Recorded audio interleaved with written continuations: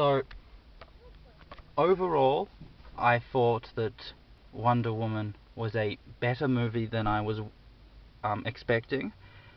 Other than the ca- occasional references to the Wayne Enterprise, there was no mention at all of the Justice League, which is very good.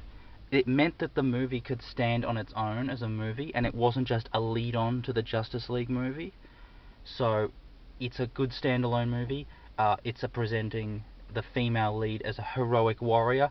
There is a few moments when Diana is being introduced to a new male character, and there's that awkward moment where he makes a sexually enticing uh, thing about her. There's so there's plenty of those moments which you you know are very cringeworthy, but other than those, it's mostly very good for presenting a female lead. Um, I would say, yeah, I would say this is a very good movie. I'm going to give it a 7 out of 10.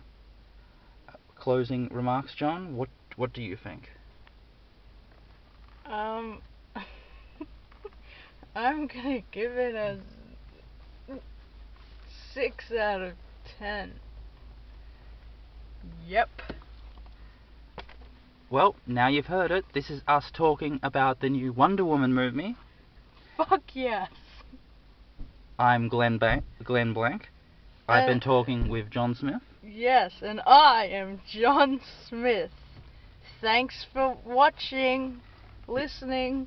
This has been Stop Eating My Popcorn on Biz 99.9 FM Substitute Radio. Until we watch another movie, goodbye. I don't even like popcorn.